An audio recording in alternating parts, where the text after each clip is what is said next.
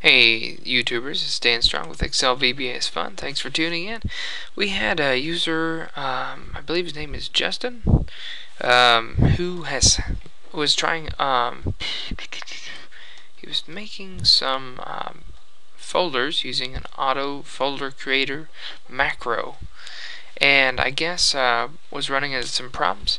This should be a very quick um, piece here where what he's trying to do is um, take this name J1 and he's making a folder I guess uh, starting with N drive right here slash J and then he wanted to add J1 and then uh, maybe like the history folder within that folder and images within that folder and then QC within that folder so, but when he copied it across, I guess it wasn't working or something. So, uh, I would like to address that a little bit. I think it's just a matter of putting the quotation marks in the right spot.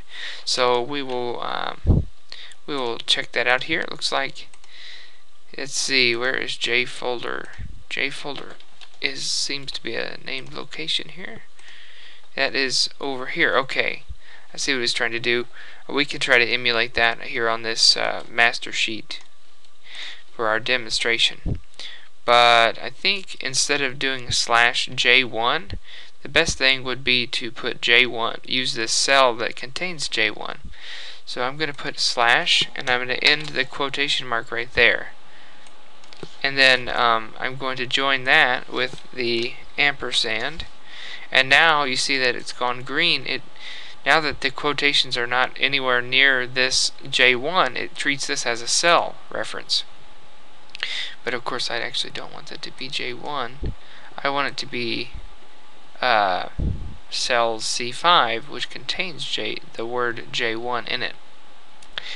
Also, uh, you want it to be able to copy down, but you don't want it to, uh, or, yeah, you want to lock in row 5. So I'm going to hit F4 and I don't want to lock it into C I just want to lock it into 5 so now that C can move to D or E or F but the 5 will not allow it to go downward. It'll be locked onto this row here.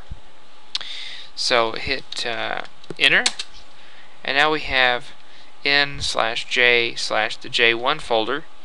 And then uh, as we copy this down we want this first one to be slash history. So uh, this one's going to be equal to that ampersand and we'll use a slash history. Okay. Then this next one is going to be equal to this uh, ampersand quote slash images I think it was and repeating the same thing here only QC so equals this QC folder end quote. Okay so that'll actually be copied. So we can copy this across. And you see that let's just take a look at one of these. We now uh, have J2 because it's right there. And we have uh, J3 J4 and then they just take the slash history or slash images or whatever. So that's how you can copy that across. And if you didn't want to keep on doing J4 and J5 and whatever, you could have something different. Like maybe J600 or um, blah. It's all always classic, right?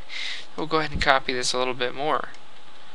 Uh, that being said, if you wanted to get real crazy with cell references, and you had some random number, or uh, random words or whatever, just because this is easy to copy, I'm just going to, um,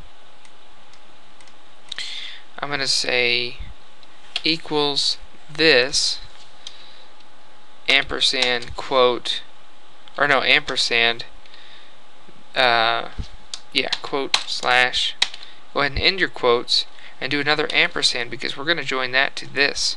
Now, again, as you copy it from left to right, you want it to lock into column B, but not any certain row. So hit F4, uh, F4, F4. Okay, so now the B is the only one with the dollar sign, so it'll be only locked into column B, but the the row you can change that.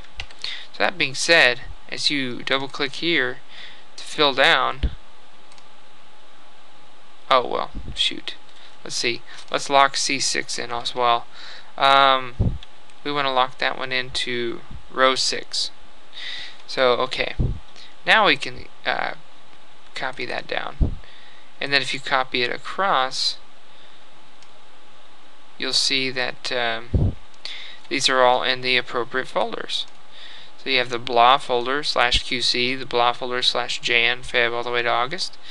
You also have the J600 folder, the J4 folder, and then you just uh, highlight whatever the heck you want, run your macro, and voila, you just made um, 72 file folders.